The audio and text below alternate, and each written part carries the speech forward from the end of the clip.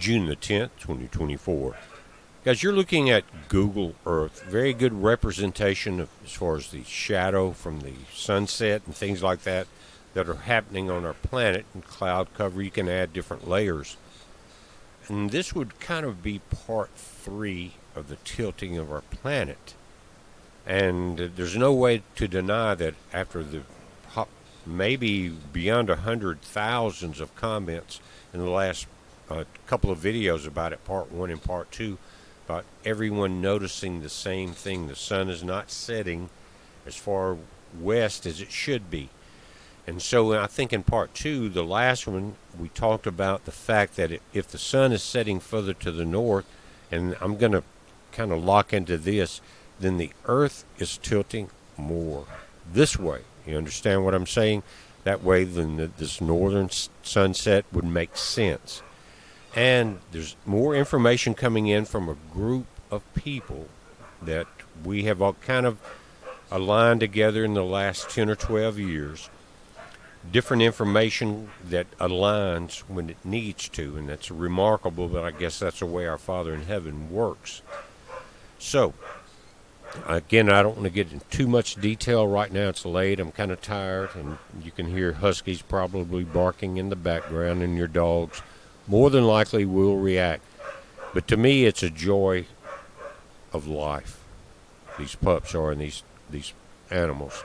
Anyway, so if we're seeing the sunset further to the north, the Earth is tilting like this, closer to the sun, and that would make sense. All right, now, last year was a very hot summer, right? This year the oceans are warmer we know that the fourth angel is going to make it very hot here. And by the way, if you're not familiar, and it's not in the uh, New Testament, the name of the fourth angel, but he is the angel of repentance. And when he pours that vial out upon the earth, men are scorched, but they fail to repent. So it, that kind of makes sense too. But the information coming in from one of our group and I'm not going to say his name yet. I don't have permission. And I'm not going to divulge too much information except what we already know is going on. And I'm going to add a little bit in of the new stuff. But we know the Earth, again, tilting forward like that. That's why we're getting the further north sunset. Now, last year was very hot. This year is going to be hotter. We can tell by the temperatures of the ocean.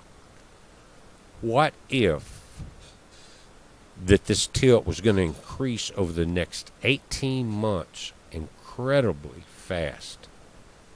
There's a lot of factors that would come in there, and again, I don't want to. Uh, I'm not going to throw anybody's name out there yet until I have permission, and I would rather them come forward with their own information because they deserve the credit. The only reason I'm coming here now is because you and I have been watching this for a long time. Now let's pull this up just a little. The, here's the Tropic of Cancer, the equator, and the Tropic of Capricorn here. The equator normally, and it is always, the closest to the sun. That's why it's the hottest place, and that's why you have the tropical convergent zone and everything. But the equator is the hottest part of our planet. It's closest to the sun.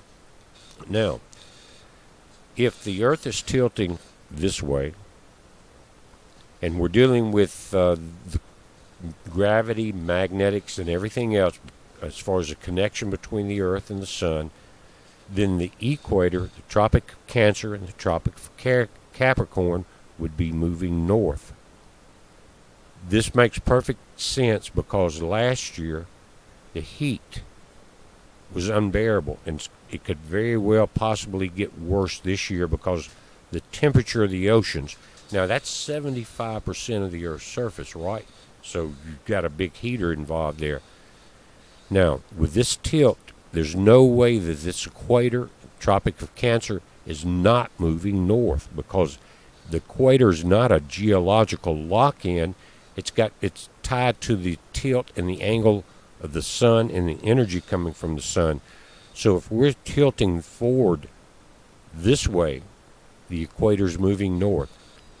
that has a lot of repercussion, guys, because the heat is going to move north.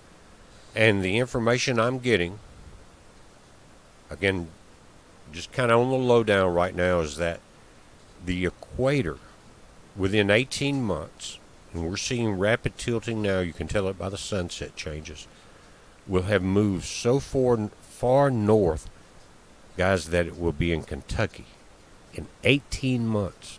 Now, talk about the angels sounding those trumpets. In a battle, guys, the trumpets don't wait a long time if they're they're sounding for different reasons, either charge or retreat or move to the left or flank to the right, whatever it is. But they happen in rapid succession, and that's what we're seeing. So if we have this equatorial change in 18 months, they're saying Kentucky. Now that's going to place this entire area into the desert. All of the more temperate zone will move north. That means a lot of the ice that you see in Greenland and further north will be more temperate. It will melt. This pole will change. It will move further towards Russia. Now, guys, think about this. Another thing, and you've heard me talk about it for years, is that there's a phenomenon known as the equatorial bulge, and it happens here.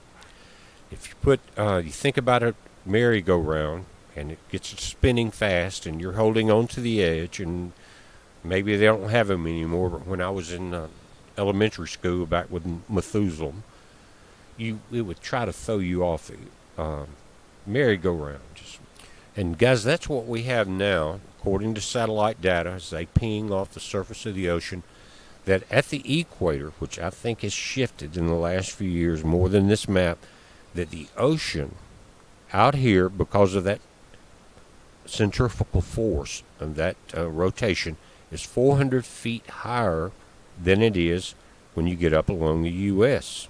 400 foot bulge, equatorial bulge. And so now, we, and I've talked about it for 10 years at least, that if there was a sudden pole shift, then you would see a 400 foot wave move from here along the equator across the planet in both directions. Now, and I was thinking that would be maybe fast, you know, sudden shift and all, but if you got 18 months, and listen to me, of this shift from here up into Kentucky, then you're going to start seeing sea rises. You think of 400 feet in 18 months, someone do the math. And how quickly it would accelerate would be hard to uh, put into that mathematical equation. But you're talking about several feet starting to accelerate now. Again, I'm not going to go into detail about where the information is coming from. You're going to find out pretty quick. But it makes perfect sense, guys, in what we're seeing in the again in the sunset changing more to the north. Again, let me back this out. So we're dealing again Tropic of Cancer coming down through just north of Cuba, but the equator. Think about this in 18 months, and God told us that it would be by heat, not by flood. And when you shift this line, it goes again through Ecuador and around the planet, you shift it that far north that quickly. Not only is the climate going to change so drastically that no one will be able to adapt without migration, but you're talking about a possible 400 foot rise in the oceans in the Gulf of Mexico because of that equatorial bulge, because of the, uh, again, the merry-go-round effect that centrifugal force. But the heat that we endured last summer, and I don't care what anybody says, now I can say this for 68 years, I've never seen it like that, and I've been in the South. And been on, We've. I've always been mostly on a farm and worked very hard since I was a very young kid, dealing with the heat. Never have I seen it like it was last year. Continuous and I'm trying to keep all the huskies cool, and we do. They're in the air conditioned in here with us, but it's just unbearable. Now we're maybe talking about another season like that because what's happening? We know, and you saw from the last report about possible hurricanes forming and tropical storms, that if the Earth is tilting forward this way, this section of the Atlantic is warming up. Why? It's facing the heater. But guys, and if it shifts this quickly, and it, that would make sense because the way the politicians are going and the way the Babylonian Empire is spread across our planet, God is tired of it.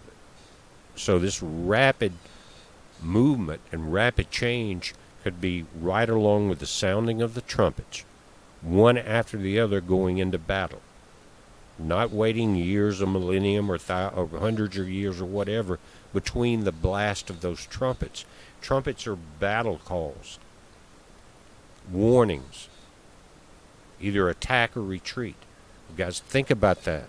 Just if this works out and what we're talking about, it makes perfect sense. In other words, the equator is shifting north, the Earth is tilting this way. That's why we're seeing the sunset difference. I hope it makes sense. I consider this part three of the tilting planet. Get more information, we'll let you know. But guys, start marking, just like you would see with Stonehenge, tree lines or mountain ridges or whatever you're dealing with on the sunset. Now it's going to change from winter to summer. We know that, but I'm telling you right now that this year the change is very noticeable with the solar panels that I showed you in the video earlier. We're watching it, guys. You watch it. It's a heads up. Be safe.